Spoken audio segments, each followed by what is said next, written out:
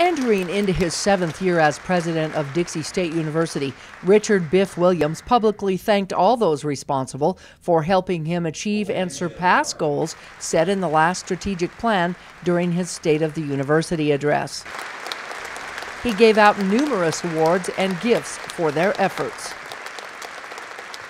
Videos highlighted accomplishments achieved over the last five years, including bringing in new degree programs and growing the university using innovation and inclusion.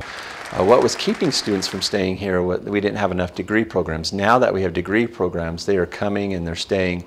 That active learning, the model that we've looked at on our learning models, it, it's not just lecture, it's about learning, it's about having internships and externships. The students love that. And our students coming to campus, they'll get to know their faculty and they'll have a mentor for life. And I think that's what people are discovering and they're excited.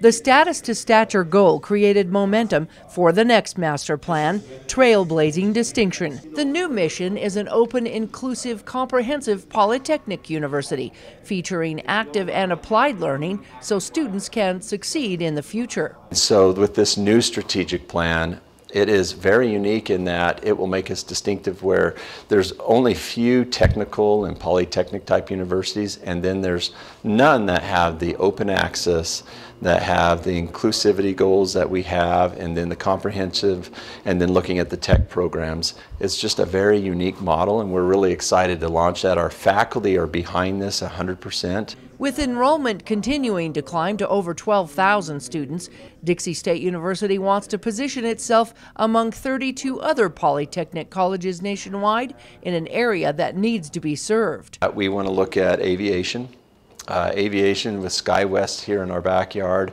Uh, where before COVID, we're having a, real difficult time finding pilots.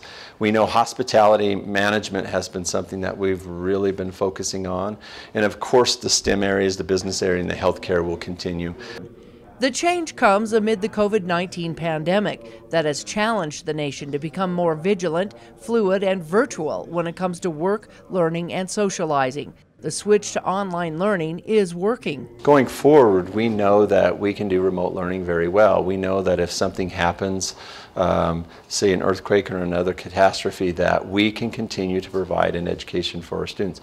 We also realize that um, we can have meetings where people are all over the world. And so looking at advisory committees and getting the advice of other experts, they don't have to be in St. George, Utah. They can be all over the world. And so we're starting to look at that and how important that will be. Dixie State University has integrated its growth into the region by responding to needs in other communities, such as Kanab in Kane County. Mutual partnerships and collaboration are what will bring even more growth in the future. However, diversity changes in the world have called into question the name Dixie State University.